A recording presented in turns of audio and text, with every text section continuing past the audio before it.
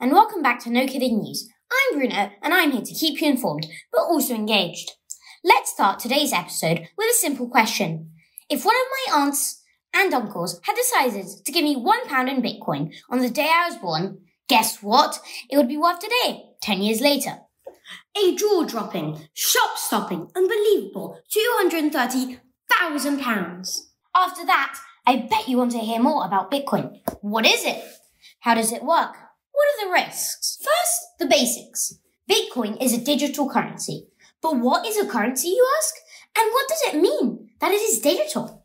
A currency is a storage of value. Think about a five pound note. It's just a bit of plastic with some pretty pictures on it. But you accept it as payment because you know that you can trade that piece of plastic for goods in the future and other people will accept it too. A currency, in the end, is a convention. Most modern currencies have no other value except for the backing of a government. These are called legal tenders, which means that all prices have to be stated in that currency in a given country, and most people must accept it.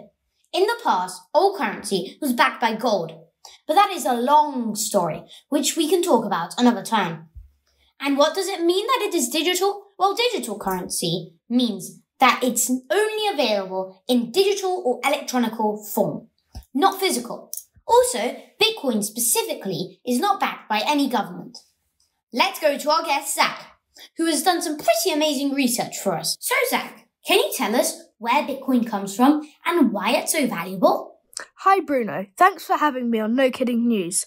Bitcoin might not be as important as the climate emergency or navigating social media safely, but as I keep reminding my mum and dad, it's the pocket money of the future, so it sounds kind of important to me. Interesting point, Zac. So where did Bitcoin come from? In August 2008, a domain name was registered bitcoin.org, and then later in October 2008, a link was published to a white paper, a special type of report, which laid out the creation of Bitcoin. The paper was written by a mysterious author who goes by the name of Satoshi Nakamoto.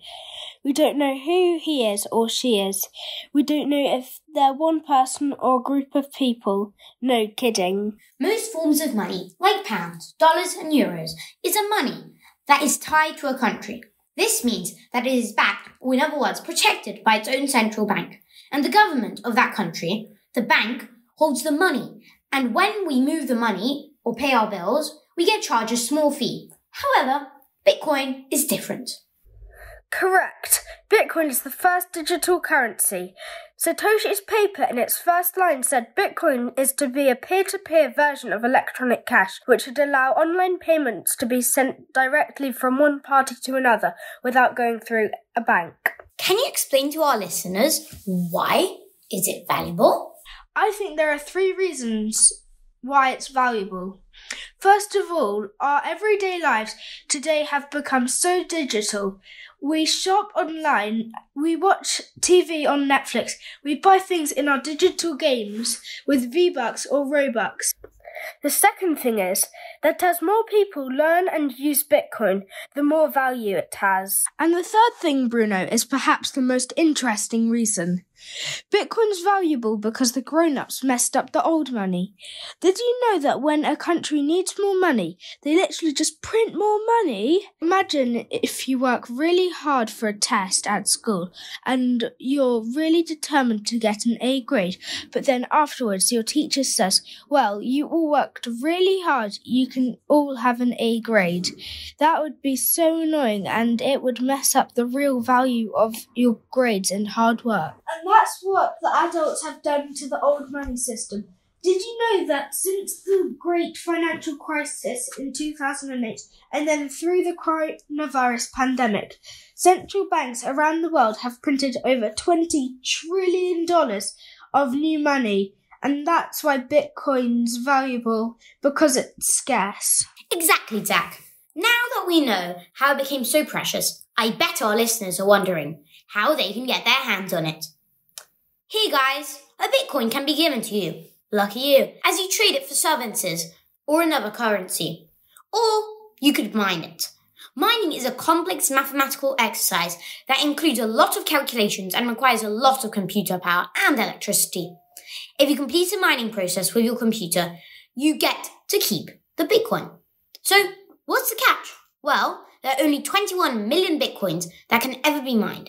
And for every 210,000 that are mined, the amount of energy and computer power needed to mine doubles. So, you have two options. If you have a lot of time on your hands, you can mine it.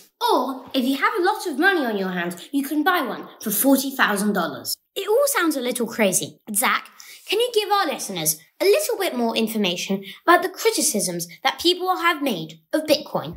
As you can imagine, Bruno, the grown ups haven't liked being told that they messed up the old money, so there have been lots of criticisms of Bitcoin. Some, as we said, argue that it is not backed by any country and so shouldn't be trusted. Some say you can't walk into the bank and ask for help if you lose it. Some argue that someone might write a new paper and create a new digital money, which proves even better and more successful than Bitcoin. Some say Bitcoin's price is too volatile, and lots of people say that electricity used to power Bitcoin network is bad for the environment. Wow! So the statement is true. With every good comes a little bad. For example, it is estimated that in a three year time, mining bitcoins will produce the same amount of carbon emissions as the whole of Italy in one year. No kidding. Of course, lots of these criticisms are very fair, Bruno, and who knows if Bitcoin will be the money of the future. It seems like it is really just too early to tell, but at the same time, a standardized, code based measure of value and open and accessible to all and built for the digital world sounds like a pretty good idea to me. So, if I got the math right, with one penny I would get about 32 sats. And what's your take, folks? Post your comments on nokiddingnews.com. A big, big thank you to our guest Zac from Thomas's Fulham for his great research and to do our first 1,000 subscribers. And if you haven't subscribed yet, please do it. See you next time. Until then, take care and thank you for listening.